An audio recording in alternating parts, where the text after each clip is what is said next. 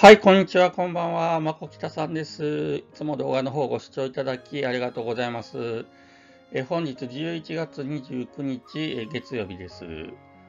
はい、ということで、今ドラマでは第5週のえ21話が描かれていたわけですが、え今回はですね、カムカムエブリバディ、えそのえ1週間先ですね、第6週の26話の話の展開について、まあ、先読みしていきたいなと思います。はい、ということで、ドラマの方をリアルタイムで楽しみたいという方は、えここで動画をスタップしてください。はい、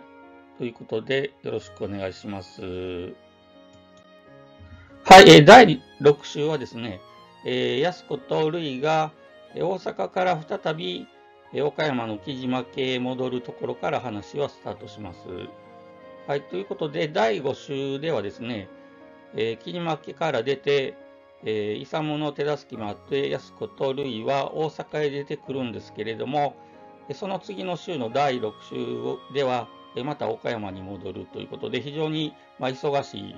大阪と、えー、岡山を行ったり来たりする、え、展開になっています。大阪へ逃れた、え、安子を、え、訪れたのは、え、千吉でした。え岡山に戻るように千吉に説得されますが、えー、大阪へ出てくる前の緑の、まあ、正気を失った姿を見てしまっている安子は、え、納得せずに断ります、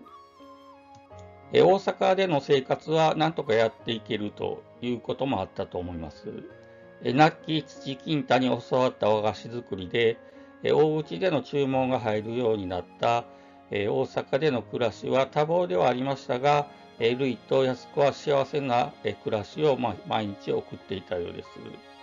えそんな安子ですが、え千吉に、え岡山へ戻る話は、え断った直後ぐらいにですね、え事故で怪我をしてしまうということになってしまいます。ということで、働けなくて、まあ、生活できないということになってしまうので、身寄りのない安子は岡山の木島家を頼りに、戻ることを決心します。はい、えー、そして安子が、えー、木島家に戻ったところですが、まあ、一番、えー、不安に思っていた、えー、緑の対応ですね。安子の不安とは裏腹に、えー、緑は孫娘類に会えて、えー、喜んでおり、安子たちを笑顔で受け入れたようです。はい、ということで、まあ、ウェルカムだったということになります。正気を失った緑が安子に当たり散らす、そんな緑は3年を経て、ま、非常に穏やかになっていたようです。ということで、安子は、え岡山に戻って、これまでの多忙を極める大阪での暮らしは一変することになります。何不自由のない岡山での暮らしは、当初はありがたく思っていた安子ですが、まあ、怪我が治ってくるとともに、まあ、そんな暮らしに物足りなさを感じることになってきます。はい、ということで、この辺はちょっと言葉は悪いですが、まあ、庶民育ちの安子は、ま、貧乏症っていうか、何かしら働いていないと申し訳ないというところが根底に残っているのかなというところで、まあ、お嬢様育ちの緑とは対照的に描かれているわけです。えそして、え安子は苦労の多かった大阪で過ごした日々を、え懐かしく思うようになっていくようです。はい、ということで今回は第26話のストーリーについて、え紹介してきました。え大阪に移り住んだ安子と瑠衣が、え事故に遭い怪我をしてしまったことがきっかけになり、岡山の木島家へ再び戻ることになります。え緑も正気を取り戻し、安子たちを歓迎してくれ、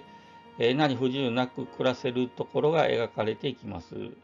しかし、安子は物足りなさを感じることになり、まあ、どういったその次にどういった行動に出るのかというところが、えー、楽しみなところで終わってます。はい。ということで、最後までご視聴いただきありがとうございました。えチャンネル登録、コメントも非常に励みになりますので、よろしくお願いします。はい。それでは次の動画でお会いしましょう。まこきたさんでした。